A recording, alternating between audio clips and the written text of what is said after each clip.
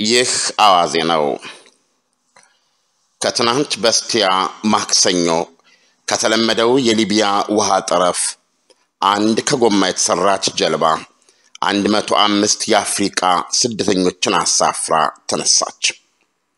አሁን ካለፈው ጥር ወር ጀምሮ ብቻ በአብዛኛው የመከረኛዋ ከሳራ በታች የአፍሪቃ ሀገሮችና እንደዚሁም የሶሪያ ስደተኞች የሆኑ አንድ ሺዎች ያለቁባት ሜዲትራንያን ባህር ላይ ጉዞ ጀመረች።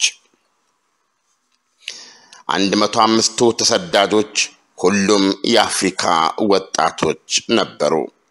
ከጋና፣ ከናይጄሪያ፣ ከአይቮሪ ኮስት፣ ከሴኔጋል፣ ከማሊና ከጊኒ ናቸው።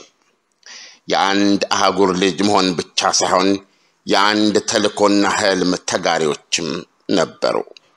በሕይወት ተርፎ ጣሊያን ደርሶ በአውሮፓ ምድር ሕይወትን ለራስ ማበጀት ከዛም ቤተሰብን መታደግ።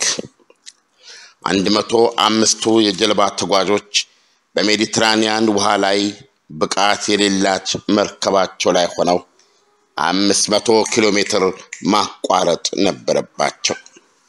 በዚች ጀልባ የባህርንና የአየር ንብረትን ዕለታዊ መስተጋበር ተቋቁማ ከአዲስ አበባ እስከ ባህር ዳር የሚሆን ርቀት ልታጓጉዛቸው የሚታመንበት ጀልባ አልነበረችም።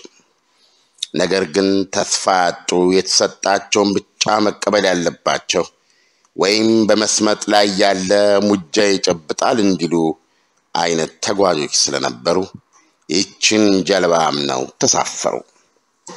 ከተስፋቸው ተስፋ ደግሞ እሷ እምቢ ያለች እንደሆነ በመካከል አዳኞቹ የጣሊያን መርከቦች ይደርሱልናል የሚል ነበረ። እግዚአብሔር ይህንን አልነፍጋቸውም ነበረ። ነገር ግን ብዙ አልሄዱም። በዛ ጉዟቸው ባህሩ አልተተናኮላቸውም፣ አየሩ አላሽቀነጥራቸውም። ሌላው ቀርቶ የጣሊያን አዳኞች አልዘገዩባቸውም።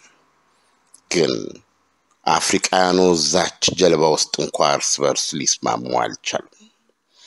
መነጋገርና መተያየት እንደጀመሩ የተወሰኑት ተሳፋሪዎች ጀልባዋ ውስጥ ክርስቲያን የሆነ ሰው መገኘቱ አልተዋጠላቸው። ስለዚህም ማጥራት ጀመሩ። አስራ ሁለት ያህል የእነሱ ብጤ ኑሮ ፍለጋ ተንከራታች ስደተኞችን መርጠው ከጀርባዋ እየገለበጡ ወደ ውሃ ጨመሯቸው። ይህን ሰቆቃ ራሳችሁ መገመት ትችላላችሁ። አስራ ሁለቱን ሰብአዊ ፍጡራን ክርስቲያን ስለሆኑ ብቻ እንደ ጠራጊ ቆሻሻ ባህር ውስጥ ደፏቸው። ለወራት በረሃ ቆርጠው ከአስተላላፊ አስተላላፊ እየተደበደቡ ፍራንክ እየቀመሱ ጉቦ እየሰጡ ለሊቢያ የውሃ ዳር በቁ። ጀልባም ተሳፈሩ። መራራ ሕይወታቸውን ሊያመልጡና ተስፋዋን አዲስ ማረፊያቸውን ሊያዩ ግማሽ መንገድ እንደደረሱ ሜዲትራኒያን መሃል እንዳሉ ሃይማኖታቸው፣ እምነታቸው ጣላቸው። ይህን አድራጊዎቹ ሙስሊም ነን ባዮች ደግሞ የአይቬሪ ኮስት፣ የሴኔጋል፣ የማሊና የጊኒ ዜጎች ናቸው። በመጨረሻ በጣሊያን መርከብ ተሳፍረው ለአውሮፓ መሬት ሲበቁ ዓይናቸው በእንባ የረጠቡ ክርስቲያን ስደተኞች ባለስልጣኖች ፊት ቀርበው ታሪካቸውን ተናገሩ።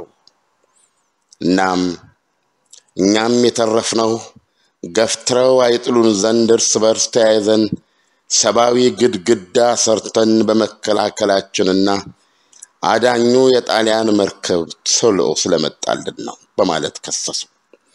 አስራ አምስቱ ተጠርጣሪዎች በቁጥጥር ስር ውለዋል። በአርባ ስምንት ሰዓት ውስጥ ክስ እንደሚመሰረትባቸው ይጠበቃል። ከዚህ የበለጠ ምን ያህል ምን ከዚህ የበለጠ ምን የሚያሳዝን ነገር አለ? አድማጮች፣ የአዋዜ ነው።